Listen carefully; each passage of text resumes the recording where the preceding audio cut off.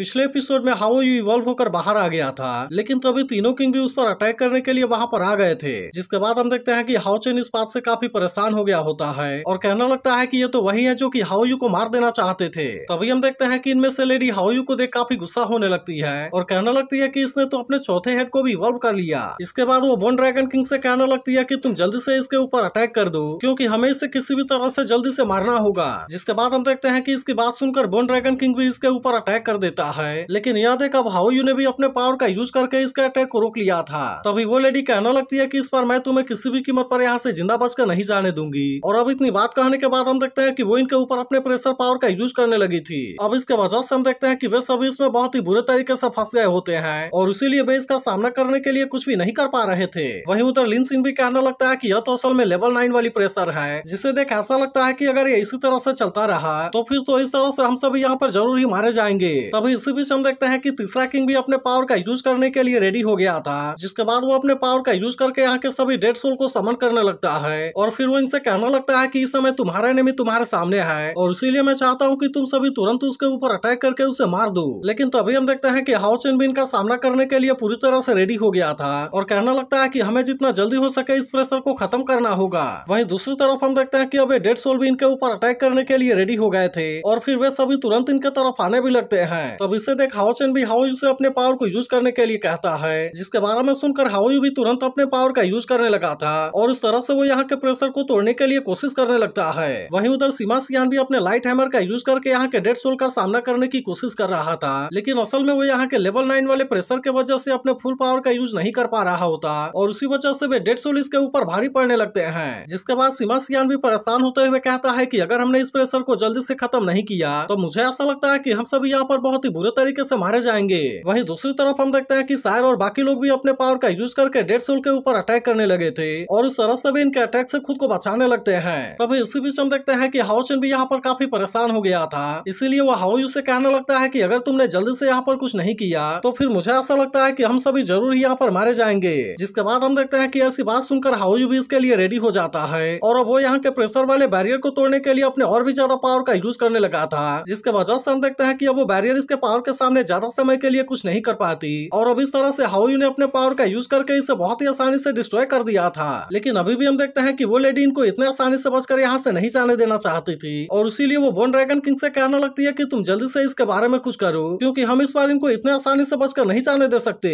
लेकिन तभी हम देखते हैं कि हाउचन भी अपने टीम को लेकर यहाँ से निकलने के लिए पूरी तरह से रेडी हो गया था, और उसने इसके लिए पीछे से टेलीपोर्टेशन गेट को ओपन कर दिया होता है। तभी हम देखते हैं कि बोन ड्रैगन किंग और बहुत सारे डेड सोल इनके ऊपर अटैक करने के लिए आने लगे थे जिसे देख हाउचन अपने टीम से कहता है कि तुम सभी जल्दी से यहाँ से निकल जाओ। जिसके बाद हम देखते हैं कि वे तीनों किंग इनको रोकने के लिए कुछ भी नहीं कर पाते, और इस तरह से हाउचन और उसके सभी साथी यहाँ से बचकर निकल गए थे। तभी इसी बीच हम देखते हैं कि वो लेडी इस बात से काफ़ी गुस्सा हो गई थी, लेकिन उसी समय हाउ उसके चेहरे के ऊपर पानी का पिचकारा मारकर फिर से गायब हो जाता है। जिसके बाद हम देखते हैं कि इस बात से वो लेडीज़ के ऊपर और भी ज़्यादा गुस्सा हो जाती है, और कहने लगती है की ऑस्टन ग्रिफिन मैं तुम्हें कभी भी नहीं छोड़ूँगी। लेकिन इसके बाद अगले सीन में हम देखते हैं कि हाउचन और उसके सभी साथी वहाँ से टेलीपोर्ट होकर वापस आ गए थे। जहाँ पर हम देखते हैं कि लिंसिन हाउयू के साथ में खेलने लगा था और कहने लगता है कि हाउयू तो इस बार इवॉल्व होकर और भी ज़्यादा बड़ा बन गया। लेकिन तभी हम देखते हैं कि हाउचन हाउयू के बारे में सोचकर काफ़ी परेशान था, क्योंकि उसने इसकी मेमोरी में उसे बहुत ही बुरे तरीके से इंजर्ड होते हुए देखा था और इसीलिए वो कहने लगता है कि क्या सच में यह चीज़ तुम्हारे पास से जुड़ी हुई है? इसके बाद वो अपने सभी टीममेट से इसके बारे में हेल्प करने के लिए थैंक यू कहता है, लेकिन असल में वो अभी हाउयू के साथ में कुछ समय अकेले रहना चाहता था और इसीलिए वो इनसे कहता है कि तुम सभी जाकर आराम करो। जिसके बाद हम देखते हैं कि सार भी इसके बात मानने के लिए रेडी हो गई थी और फिर वे सभी हाउचन और हाउयू को अकेला छोड़कर यहाँ से चले जाते हैं। इसके बाद अगले सीन में हम देखते हैं कि वे दोनों एक साथ में अकेले होते हैं, जहाँ पर कि वे एक दूसरे के साथ में बहुत ही अच्छा टाइम स्पेंड कर रहे थे और फिर हाउचन हाउयू से कहता है की मैंने तो इसके बारे में उम्मीद भी नहीं किया था, जबकि तुम तो इस बार इवॉल्व होकर पहले से भी ज़्यादा बड़े बन गए हो। इसके बाद हम देखते हैं कि हाउचन हाउयू के चौथे हेड को भी नाम देने का डिसाइड करता है और फिर उसे कहता है की मैं अब से तुम्हें सियावलान कहूँगा, लेकिन तभी वो नोटिस करता है कि सियावलान अभी भी डरा हुआ है और इसीलिए वो इनको खाने के लिए इनका सबसे फेवरेट ड्राई फ़िश देता है। जिसके बाद हम देखते हैं कि बाकी तीनों तो अपने अपने हिस्से को जल्दी से खा गए थे, लेकिन वहीं उधर सियावलान जैसे ही अपने हिस्से को खाने वाला होता है, तभी रेड वाला आकर इसके भी हिस्से को खा जाता है। जिसके बाद हम देखते हैं कि इस बात से सियावलन काफ़ी उदास हो गया था। इसीलिए हाउचन भी रेड वाले से कहने लगता है कि तुम्हें ऐसा नहीं करना चाहिए था, क्योंकि वह तो असल में सियावलन का हिस्सा था। तभी अचानक से हम देखते हैं कि वो डकार मारकर यहाँ के एक पेड़ के ऊपर आग लगा देता है, लेकिन इसे देखते ही सियावलन तुरंत अपने वाटर का यूज़ करके इसे बुझा देता है जिसके बाद हम देखते हैं कि हाउचन इस बात से सियावलान से काफ़ी इंप्रेस हो गया था और कहना लगता है कि तुमने ऐसा करके सही किया। इसके बाद हम देखते हैं कि इन सभी को यहाँ पर रुके हुए बहुत ज़्यादा टाइम हो गया था और इसीलिए वे सभी बहुत ही आराम से यहाँ पर सो रहे थे। लेकिन वही उधर हम देखते हैं कि सियावलान अभी भी जगा हुआ था और तभी इसी वक्त उसके सामने एक बटरफ्लाई आ जाती है। जिसके बाद हम देखते हैं कि वो इसके साथ में खेलने के लिए इसके पीछे जाने लगा था। तभी हाउचन उसे कहना लगता है कि मैंने तुम्हारे मेमोरी को देखा है और इसीलिए मुझे पता है कि बचपन में तुम्हें बहुत ही बुरा एक्सपीरियंस मिला है। इसके अलावा मैं यह भी जानता हूँ कि घाव भले ही हील हो जाते हैं। लेकिन इसके बाद भी उनके निशान वहाँ पर बच जाते हैं। लेकिन फिर भी मैं तुम्हें बताना चाहता हूँ की तुम्हारे पीछे मैं और मेरी पूरी टीम खड़ी है। इसीलिए वो सियावलान से कहता है कि अब तुम्हें किसी भी चीज़ के बारे में चिंता करने की ज़रूरत नहीं है, क्यूँकी मेरे रहते हुए कोई भी तुम्हें कुछ नहीं कर पाएगा। जिसके बाद हम देखते हैं कि इसकी ऐसी बात सुनकर सियावलान भी काफ़ी इमोशनल हो गया था। अब इसी तरह से हम देखते हैं कि वे सभी एक साथ में यहाँ पर अपनी पूरी रात बिता देते हैं। इसके बाद अगले सीन में हम देखते हैं कि हाउचर मास्टर हान से बात करने के लिए उनके पास में गया होता है, जहाँ पर वो इनसे बताता है कि मैंने शायर के डिवाइन स्क्रॉल अवेकनिंग के बारे में पूछा था और फिर पता चला कि इसके लिए हाई इंटेंसिटी बैटल में इन्वॉल्व होना ज़रूरी है। इसीलिए हमने अपनी टीम को हैंडसन लेवल डिमन हंटिंग ग्रुप में अपग्रेड करने का डिसाइड किया है, ताकि इस तरह से हम और भी हाई लेवल के हंटिंग मिशन को स्टार्ट कर सके। लेकिन अब इसके बारे में सुनते ही मास्टर हानु से कहते हैं कि ऐसा करने के बाद तुम्हारे डेंजर और भी ज़्यादा बढ़ जाएँगे। इसके अलावा मैं इस बात को भी मानता हूँ कि तुम सभी असल में जीनियस हो, लेकिन तुम्हें भी इसके बारे में पता होना चाहिए कि ग्रोथ के लिए टाइम लगता है। और इसीलिए मैं तुम्हें एडवाइस देना चाहता हूँ की तुम अपग्रेड करने के लिए जल्दीबाजी ना करो। अब इतनी बात कहने के बाद वो हाउचन से कहते हैं कि तुम्हें अभी और भी ज़्यादा प्रैक्टिस करनी चाहिए, और फिर उसके बाद तुम असेसमेंट के लिए मेरे पास में वापस आ सकते हो। लेकिन अभी भी हम देखते हैं कि हाउचन इनकी ऐसी बात मानने के लिए रेडी नहीं होता, और वो मास्टर हान से कहता है कि हमारे टीम के पास में किसी भी रिस्क से डील करने के लिए एबिलिटी है, इसीलिए मैं चाहता हूँ की आप हमें ऐसा करने दीजिए। लेकिन तभी मास्टर हान उससे पूछते हैं की तुम्हें ऐसा क्यों लगता है की तुम्हारे टीममेट्स इसके लिए रेडी है? तब इस पर हाउचन इनसे कहता है की मैं तो इनका लीडर हूँ, और इसी वजह से मुझे इनके ताकत और पावर के बारे में बहुत ही अच्छे से पता है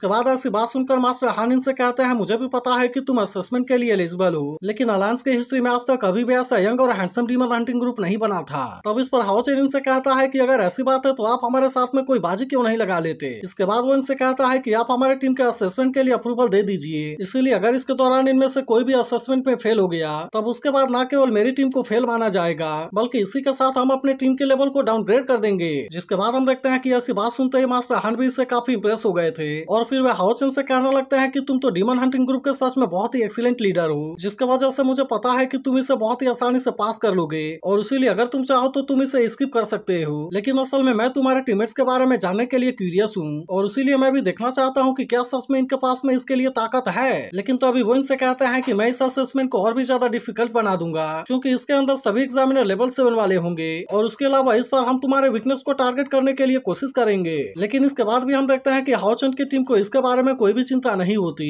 और अब हाउचन भी इनकी यह बात मानने के लिए रेडी हो गया था। इसके बाद अगले सीन में हम देखते हैं कि वेंग युआन एक एग्जामिनर के साथ में फाइट कर रही होती है, जहाँ पर की वो इसके अटैक को बहुत ही आसानी से रोक रहा था। और इसीलिए वेंग युआन इसके सामने यहाँ पर ज़्यादा कुछ नहीं कर पा रही थी। तभी वो वेंग युआन से कहना लगता है की तुम्हारे पास में टाइगर के जैसी ताकत है। इसके अलावा तुम तो रैबिट के जैसे मूव करती हो। इसीलिए सच में तुम्हारे पास में भी सीनियर रिंगा कुआँ के जैसे वैल्यू है। लेकिन फिर वो कहना लगता है कि तुम्हारी फिस्ट अभी भी बहुत यंग है। इसीलिए अगर तुम अपने पूरे ताकत का भी यूज़ करके अटैक करोगे तो कुछ नहीं होगा। जिसके बाद हम देखते हैं कि ऐसी बात सुनकर वेंगजुआन भी फाइट के लिए सीरियस हो गई थी और अब वो इसके ऊपर अटैक करने के लिए अपने जाइंट सील का यूज़ करने लगती है। लेकिन तभी हम देखते हैं कि वो इसके अटैक से खुद को बहुत ही आसानी से बचा रहा था और फिर वो कहना लगता है कि हमने यहाँ पर आने से पहले तुम्हारे इन्फॉर्मेशन के बारे में बहुत ही अच्छे से इन्वेस्टिगेशन किया है। इसीलिए मुझे पता है की तुम्हारा जॉइंट सील असल में बहुत ज़्यादा पावरफुल है, लेकिन असल में फिर भी यह बहुत ज़्यादा बल्कि है। तभी अचानक से हम देखते हैं कि वो वेंगजुआन के सामने से गायब हो जाता है और अब इस तरह से वो अपने स्वॉर्ड का यूज़ करके इसके ऊपर अटैक करने के लिए आ गया था लेकिन तभी हम देखते हैं कि वेंगजुआन भी इसका सामना करने के लिए रेडी हो गई थी।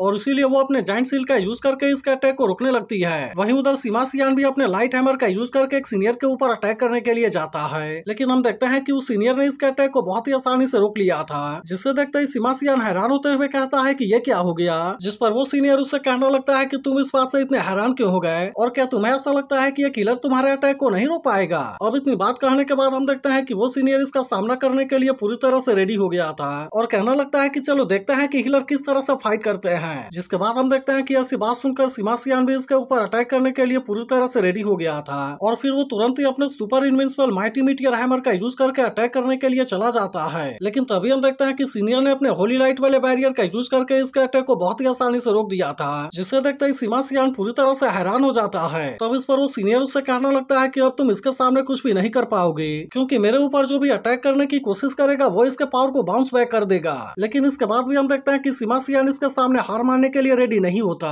और अब इस तरह से वो फिर से इसका सामना करने के लिए पूरी तरह से रेडी हो गया था। वही दूसरी तरफ़ हम देखते हैं कि चेन ने अपने लिविंग गेट का यूज़ किया था और इसके अंदर से इस बार भी वही सी बाहर आया होता है। तब इसे देख उसके सामने वाला सीनियर कहने लगता है की अब तो तुम इसके मदद से मेरा कुछ भी नहीं कर पाओगी और इसीलिए मुझे ऐसा लगता है की तुम इस असेसमेंट में बहुत ही आसानी से फेल होने वाली हो। अब इतनी बात कहने के बाद हम देखते हैं की उसने इसके ऊपर अटैक करने के लिए फॉक्स को समन कर लिया। था जिसे देखते ही चेन इस बात से काफ़ी डर जाती है। वही दूसरी तरफ़ हम देखते हैं कि लिंसिन भी अपने पावर का यूज़ करके एक सीनियर के ऊपर अटैक करने की कोशिश कर रहा था, लेकिन उस सीनियर ने भी अपने चारों तरफ़ एक बैरियर को क्रिएट कर लिया होता है, जिसके वजह से लिंसिन भी इसके सामने कुछ नहीं कर पा रहा था। और अब इसीलिए वो इसके ऊपर गुस्सा होते हुए कहने लगता है कि आखिरकार तुम मुझसे ज़्यादा बेटर कैसे हो सकते हो? तब इस पर वो सीनियर कहने लगता है की सभी को पता है की तुम पूरे मैजिक पैलेस में सबसे काबिल इंसान हो, लेकिन असल में इस चीज़ को दूसरे के मेडिसिन से उसी का इलाज करना बोला जाता है। इसके बाद वो इसका मज़ाक उड़ाते हुए कहता है कि शायद अब इसके लिए तुम्हें कल आना चाहिए, क्योंकि मेरी वाइफ मेरे लिए खाना बनाकर घर पर मेरा वेट कर रही है। इसके बाद वो उससे कहता है कि अब मैं तुम्हें इसके लिए केवल एक मिनट का टाइम दूँगा,